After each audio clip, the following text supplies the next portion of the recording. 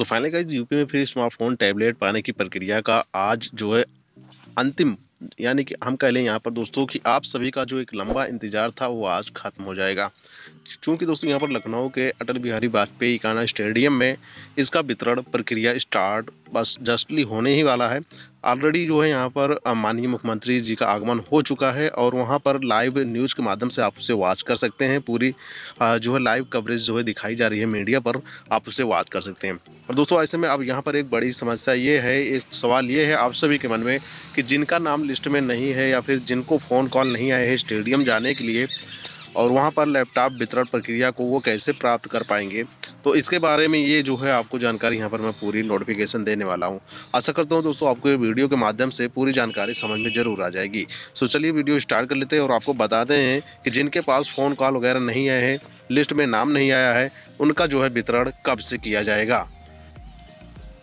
तो दोस्तों यहाँ पर लखनऊ में कल से ही विद्यार्थी जो है छात्रगढ़ जो है वहाँ पर पहुँचने की प्रक्रिया को अपना लिए हैं और आज सुबह तक वहाँ पर सभी छात्र पहुँच चुके हैं तो यहाँ पर कई आप सभी को बता दें कि जो है यहाँ पर स्टेडियम में हर ज़िले से जो है 200 कैंडिडेट को सिर्फ़ बुलाया गया था।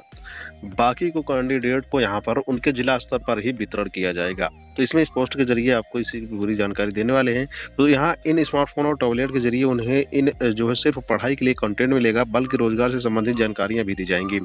उनकी योजना एक करोड़ युवाओं को फ्री स्मार्टफ़ोन और टैबलेट देने की है। सीएम योगी जो है शनिवार यानी कि आज को अटल बिहारी वाजपेयी की जयंती पर इकाना स्टेडियम में एक लाख युवाओं को फ्री स्मार्टफ़ोन और टैबलेट का वितरण करेंगे। तो डिजी शक्ति पोर्टल और डिजी शक्ति अध्ययन ऐप भी लॉन्च करेंगे। तो आज दोस्तों यहाँ पर पोर्टल और अध्ययन एक ऐप आएगा, वो भी लॉन्च कर दिया जाएगा और उसे आप अपने जो है डिवाइस में उसे आपको डाउनलोड करना होगा। सभी स्मार्टफ़ोन और टैबलेट में डिजी शक्ति अध्ययन ऐप इंस्टॉल है। इसके माध्यम से संबंधित यूनिवर्सिटी व डिपार्टमेंट छात्रों को पढ़ाई के लिए कंटेंट देंगे। साथ ही शासन की ओर से रोज़गार पर योजनाएँ आज भी जानकारी दी जाएगी। अब यहाँ आप देख पा रहे होंगे नीचे कि जिलों में स्थानीय स्तर पर कार्यक्रम का होगा आयोजन। यानी कि लखनऊ में होने वाले कार्यक्रम में पहले चरण में अंतिम वर्ष की पढ़ाई कर रहे प्रदेश भर के युवाओं को फ्री स्मार्टफ़ोन और टैबलेट दिया जाएगा। इसके बाद जिलों में स्थानीय स्तर पर कार्यक्रम का आयोजन कर वितरण किया जाएगा। सो दोस्तों, अगर यहाँ पर आप इस लिस्ट में नहीं आए हैं, यानी कि दोस्तों, आप स्टेडियम तक नहीं बुलाए गए हैं तो आपको जो है, अब आपके जिला स्तर पर ये टैबलेट और स्मार्टफ़ोन दिए जाएँगे। फिर आपको इसकी सूचना आपके विद्यालय से स्वयं दी जाएगी। और यहाँ पर देखेंगे जो है जिन युवाओं का रजिस्ट्रेशन नहीं हो पाया है उन युवाओं का जो है डिजी शक्ति पोर्टल पर जो है कल के बाद फिर से रजिस्ट्रेशन किया जा सकता है। यानी कि दोस्तों यहाँ पर आज के बाद से यानी कि आज वितरण होने के बाद कल से यहाँ फिर से रजिस्ट्रेशन होगा स्टार्ट होगा फिर से। यहाँ पर जिन विद्यार्थियों का यहाँ पर रजिस्ट्रेशन नहीं हो पाया है। इसलिए आप सभी जो है अपने कॉलेज के संपर्क में रहें। आप को कभी भी किसी भी वक्त आ, कोई भी डॉक्यूमेंट लेकर के फ़ोन कॉल आ सकते हैं।